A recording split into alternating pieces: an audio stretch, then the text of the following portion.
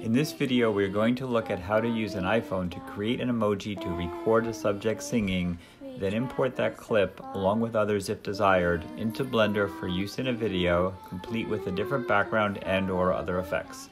Let's get started. Go to iPhone chat, and select the icon with the face with the yellow box around it, and then choose new emoji. If you have your reference image of your subject or your subject in front of you, it might help with the modeling. Choose the skin color and any freckles they may have, uh, cheeks and size, and then you can move on to hairstyle. And there's boys and girls hairstyles. Pick the one closest to your subject and tweak the hair color. You can also add highlights if your subject does have highlights and drop that color in, and you have the same control as you do for the hair eyebrows. Again, I did best effort here, picked the eyebrows closest to my subject, and uh, color was an option too, but I didn't really mess with that. Eyes, you can have the shape and the color, so you can take a look at what's available and then tweak the eye color. Mine has a little bit a little bit darker blue than the default for blue, so I'm just going to tweak that a little bit. And then eyelashes, the ones that look closest to my subject is what I picked. And then um, for head, I think she has a little more of a not as round a head as the default. So I'm going to check the age and the shape to kind of tweak that for the younger age and a little bit longer on the shape. And then the nose, there's not that many options for the shape of the nose. I'm just going to stick with the default. And the lips, they look pretty good as well, along with the teeth options that are available.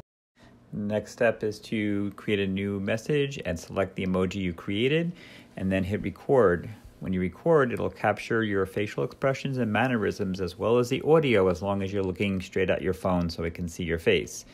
Hit stop to stop recording and then send the video out to either yourself or anyone else so that you can then hold on to it in the chat window and save it down locally to your photos for use on your computer. When we bring the video into Blender, we see that coming out of the iPhone, it's a little wider than we expected. So what we're going to do is use Blender to output each frame as a separate PNG file with the proper size of 1440 by 1078. Then we'll take that sequence of images and use it in our final video. We'll go back to Video Editor where we're going to try to make our final video. We have a nice starry background and we're going to grab our image sequence in from the emoji video we see it's bigger, so we're going to add an effect strip that's going to transform it by scaling it down and then do a alpha over, which is going to sit it on top of the background image. And we see that it's it looks pretty good, but it's not transparent. That blocky rectangle is getting in the way, so we're going to fix that. We're starting with a folder of non-transparent PNGs, and we want to get to a folder of transparent PNGs so that we can use that image sequence back in our main video in front of our starry background. We're going to get to transparency by processing each image in the sequence through a custom script in Blender.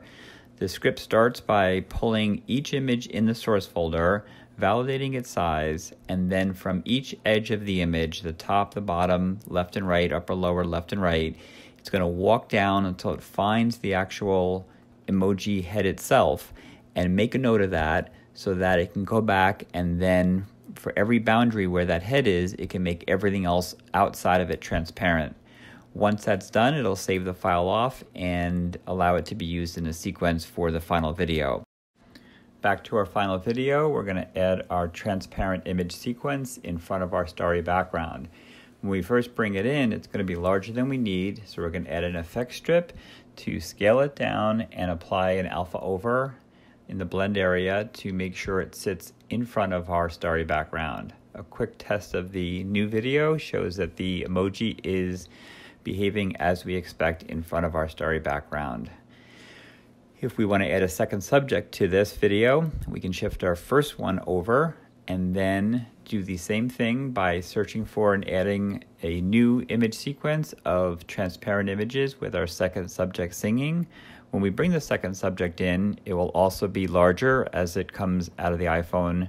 And what we want to do is scale it down and also apply an alpha over so it sits in front of our background. And then once that's in place, we can shift that subject over if we choose, and then do a quick test to see if they're synced up with the singing. If they're not, you can shift one or both of them around to make that lined up in the, the audio track. Here's how it came out. We three kings of bearing gifts, we travel so far. And fountain, and follow the yonder star.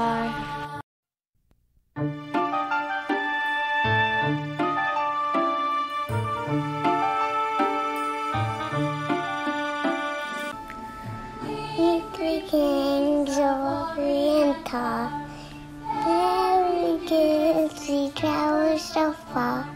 Field and mountain, and mountain, follow beyond the star.